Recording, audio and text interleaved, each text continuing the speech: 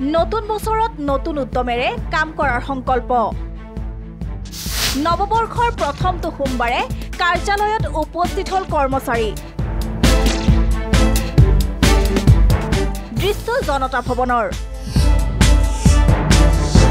দুহেজাৰ বাইছ চনৰ প্ৰথমটো সোমবাৰে কাৰ্যালয়ত উপস্থিত হৈ কৰ্মচাৰীৰ নতুন উদ্যম আৰু প্ৰত্যাশাৰে কাম কৰাৰ সংকল্প। নতুন বছৰ আহিছে হিচাপে আমি আৰু বেছি নতুন উদ্যমেৰে কাম কৰিম।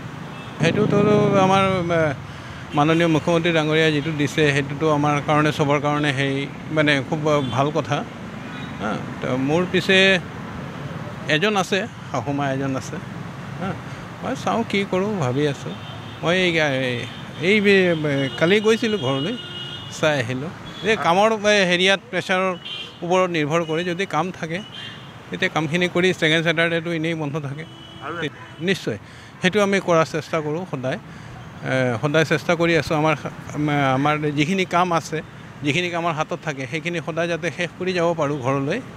মানে এতিয়া নহয় সন্ধিয়া বা যেতিয়া সময় যেতিয়ালৈকে ছটা হওক সাতটা হওক যিমান হেৰি হয় আমি শেষ কৰি যাওঁ আৰু ঘৰলৈ। আমাৰ আমাৰ ব্ৰাঞ্চত তেনেকুৱাই কাম হয়। ছয় আৰু সাত জানুৱাৰীত ৰাজ্য চৰকাৰৰ বিশেষ ছুটী। মুখ্যমন্ত্ৰীক ধন্যবাদ জ্ঞাপন কৰিলে চৰকাৰী কৰ্মচাৰীয়ে। ঘড়ীৰ কাটা নহয় কাম সম্পূৰ্ণ কৰিহে ওলাব কৰ্মচাৰী। ৰাজ্য চৰকাৰে পিতৃ মাতৃ শাহু শহুৰৰ সৈতে সময় কটোৱাৰ বাবে অহা ছয় আৰু সাত জানুৱাৰীত বিশেষ ছুটীৰ ব্যৱস্থা কৰিছে। মুখ্যমন্ত্ৰীৰ এই সিদ্ধান্তক আদৰণি কৰ্মচাৰীৰ। বছৰটো ভালে কুশলে পাৰ হৈ যাওক আৰু সকলোৰে ভাল হওক। দেশৰ ভাল হওক সকলোৰে। আৰু আগন্তুক যে বছৰটো যেতিয়া বেমাৰ আজাৰৰ পৰা সকলোৱে মুক্ত হৈ থাকক সেইটোকে বিচাৰোঁ আৰু।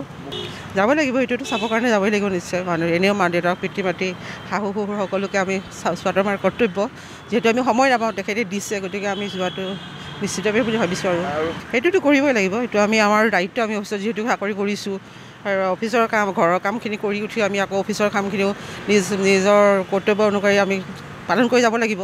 সেইখিনি আৰু অলপ কষ্ট হয় যিহেতু আমি সংসাৰখন চলাই মেলি আহি আকৌ ল'ৰা ছোৱালী চাব লাগে গোটেইখিনি চাব লাগে অলপ কষ্ট হয়। তথাপিতো উপায় নাই চাব লাগিব তেখেতে কৈছে এতিয়া। তাৰ মাজতে চলাই নিব লাগিব আৰু সেনেকৈ আৰু। এইদৰেই বৰ্ষটোৰ প্ৰথমটো সোমবাৰে ৰাজ্যৰ প্ৰতিটো চৰকাৰী কাৰ্যালয়ত নতুন উদ্যম আৰু নতুন উৎসাহেৰে কাম কৰি যোৱাৰ সংকল্প ল'লে চৰকাৰী কৰ্মচাৰীয়ে।